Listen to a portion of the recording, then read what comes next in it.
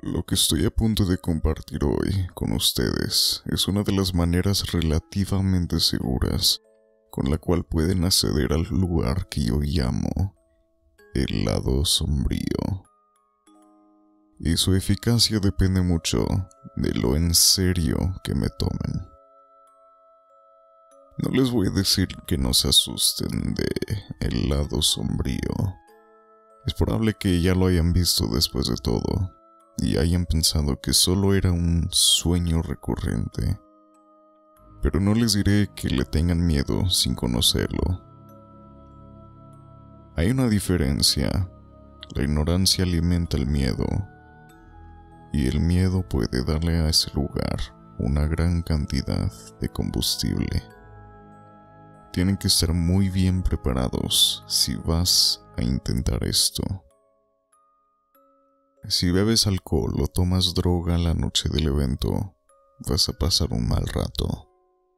Si estás pasando por un mal momento en tu vida y no te sientes mentalmente o espiritualmente bien, o si simplemente haces esto como una vía de escape, vas a pasar un mal rato.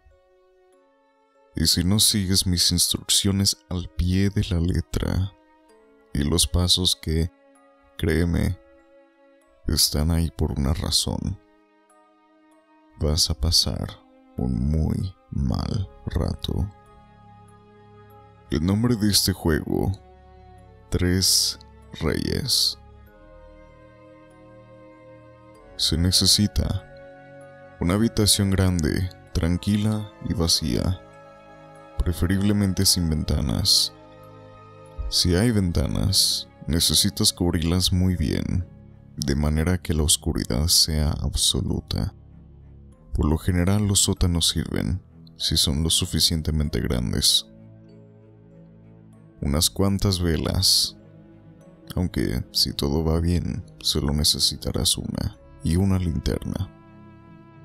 Un cubo o recipiente grande, con agua y una taza. Un ventilador dos espejos grandes, como los de los armarios o el baño. No se preocupen, no se van a dañar. Y si se dañan, van a ser la menor de sus preocupaciones. Tres sillas. Un reloj con alarma. Un teléfono móvil.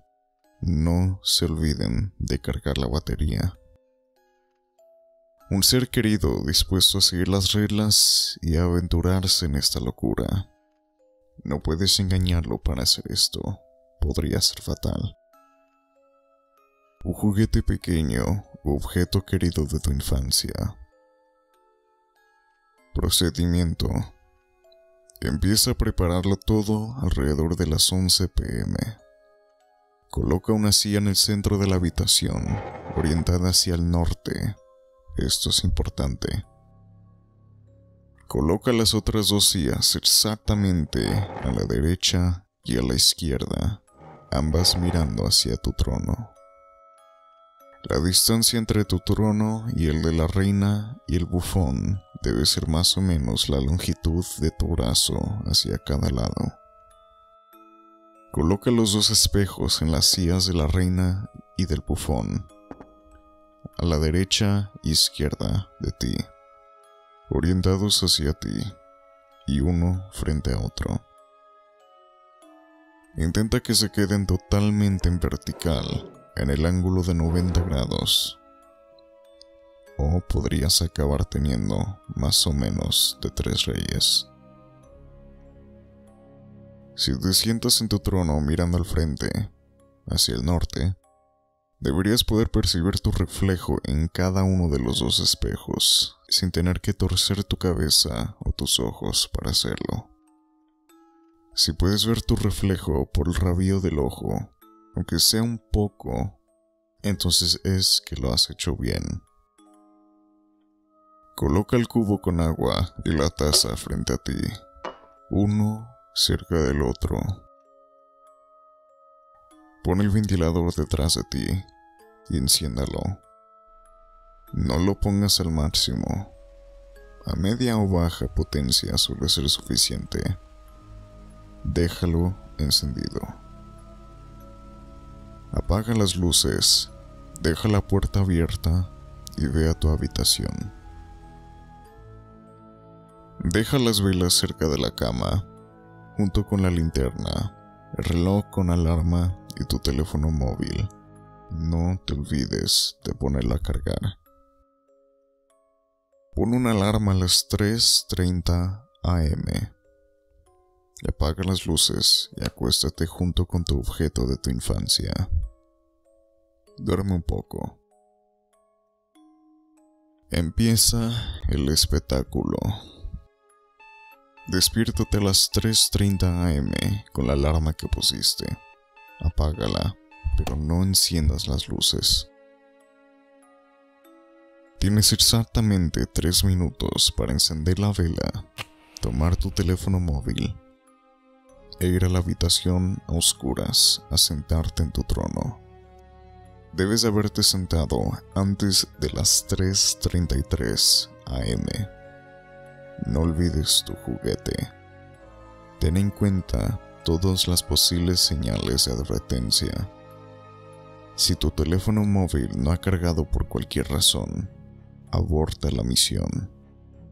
Si la alarma no ha sonado exactamente a las 3.30 am, aborta la misión.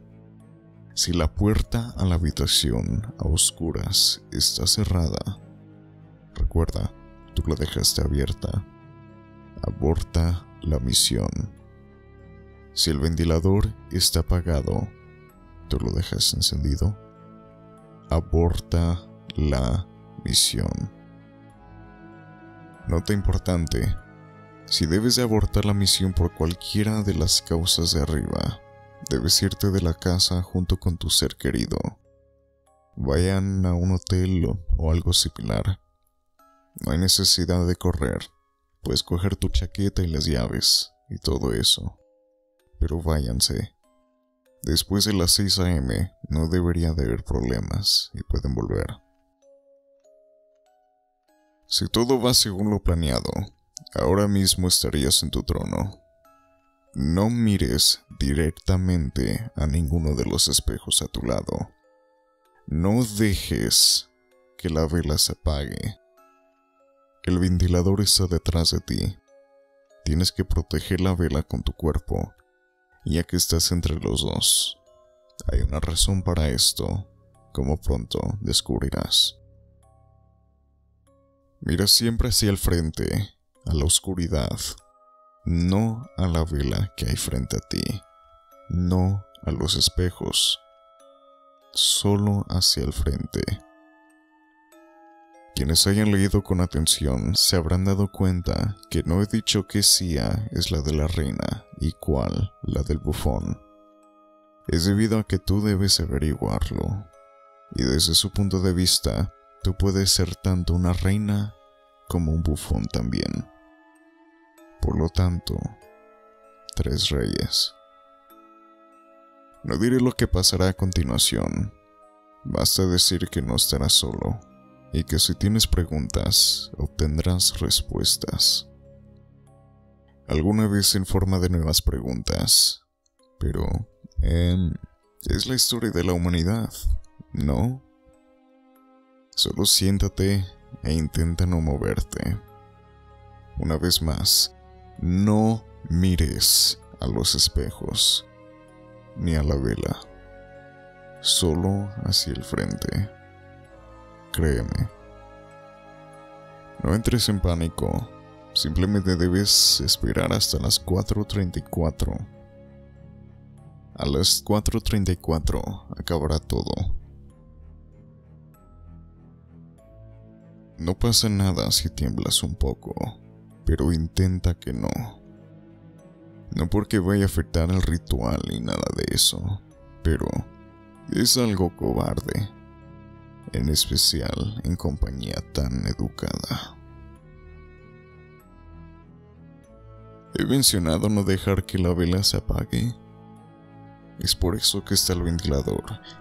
Estás protegiendo la vela con tu cuerpo pero si tu cuerpo de repente se mueve, o es arrastrado, entonces el ventilador apagará la vela que está frente a ti. Esa es la salvaguarda número uno. Tu ser querido es la salvaguarda número dos. A las 4.34, él o ella debe de ir a la puerta de la habitación y llamarte por tu nombre. Si eso no funciona, debe llamarte al teléfono móvil. Si tampoco funciona, tiene el cubo con agua y la taza. Pase lo que pase, no debe tocarte. Ese es un error de novatos. La salvaguarda número 3 es tu objeto de tu infancia. Es tu objeto de poder, el juguete o peluche o lo que sea. Te dará la fuerza necesaria para no perder de vista el camino. Te ayudará si todo sale mal. Múltiples salvaguardas. Debe ser como una especie de Boy Scout si haces todas esas cosas. Si arruinas esto a medias, arruínalo por completo para que no funcione. Lo peor que puedes hacer es ser lo suficientemente serio como para hacerlo, pero no lo suficientemente serio como para prepararte para las consecuencias. Si tienes dudas, no intentes esto.